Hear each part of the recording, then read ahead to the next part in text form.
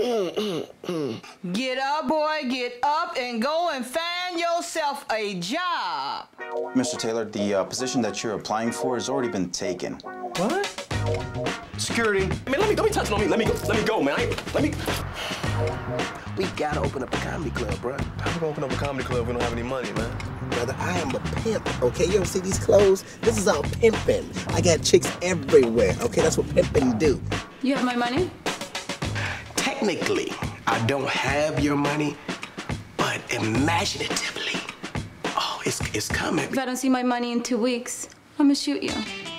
I really don't know what's going on because you talking about shooting me and I didn't even ask to borrow your money.